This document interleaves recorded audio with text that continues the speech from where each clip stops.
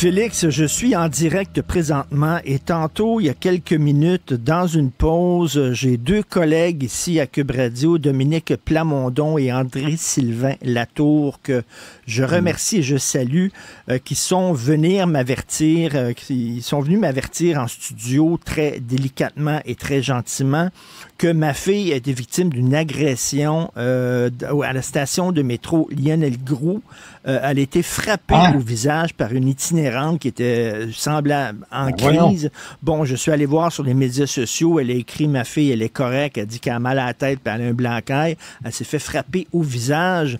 Mais tu sais, quand on parle d'insécurité dans le métro, là, là soudainement, ça, ça vient me chercher dans ma vie personnelle. Hey! C'est rendu Hey! dangereux se promener dans le métro de. Montréal. Il y a des gens, des itinérants qui sont en crise, des toxicomanes qui sont en crise, des gens qui perdent. Et là, ben, c'était ma fille qui était frappée. Là. Ça aurait pu être plus grave, Pauvre heureusement. petite, mais bon. pauvre petite. J'espère que j'espère qu'elle va, j'espère qu'elle n'en gardera pas de séquelles surtout, puis qu'elle euh, que ça va pas affecter son sentiment de sécurité. Mais j'ai comme l'impression que oui, un peu Oh, parce écoute, que là. depuis plusieurs mois, on- il est il est affecté. là, le sentiment de chacun de sécurité de chacun de nous est affecté.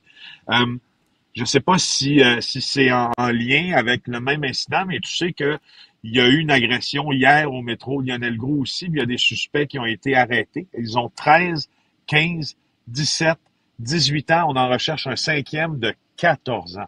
Alors, c'est manifestement pas euh, la Ah, personne ça, en je situation sais pas. d'itinérance Je- qui j'ai a- pas qui a les détails, bien sûr. mais oui, oui, oui, oui, ça vient. Écoute, c'est arrivé, c'est mon collègue Maxime Delan qui vient de euh, qui vient de publier ça là, euh, en alerte. Là. Donc, Lionel Groux, encore une fois, même le- la même station de métro où ta fille a été victime d'une d'une telle agression, franchement, tu m'envoies extrêmement navré. Euh, Je, je, je suis Non, non, mais tu sais, peu, euh, heureusement, là, ça va bien. là. Moi, euh, je, je t'ai déjà raconté, là, lorsque j'étais jeune, je, m'étais fait aussi euh, battre par un gang de rue dans, dans une station de métro.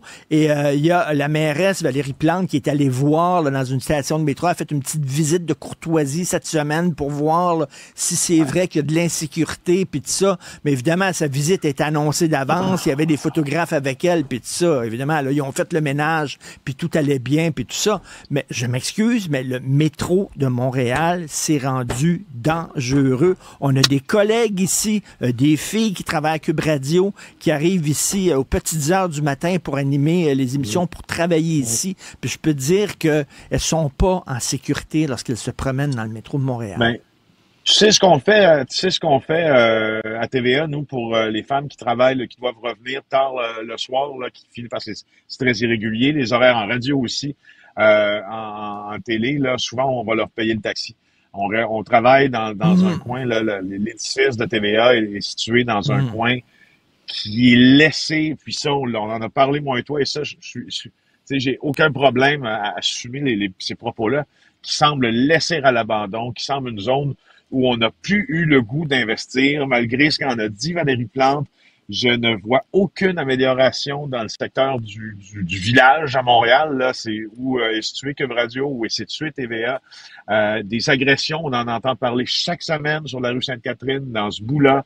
Euh, le parc Émilie Gamelin à côté, c'est un c'est un hôpital psychiatrique à, ciel ouvert à certains égards. Je ne vois pas ce qui va arriver dans ce quartier-là de bon. Non, non. je- Non, c'est vraiment en train de tomber. Là. Puis, tu sais, Lionel Gros, c'est pas, Ouais. pas, dans le coin, c'est pas le village. C'est Ben euh, non, c'est ça. c'est- c'est- exact. c'est ailleurs.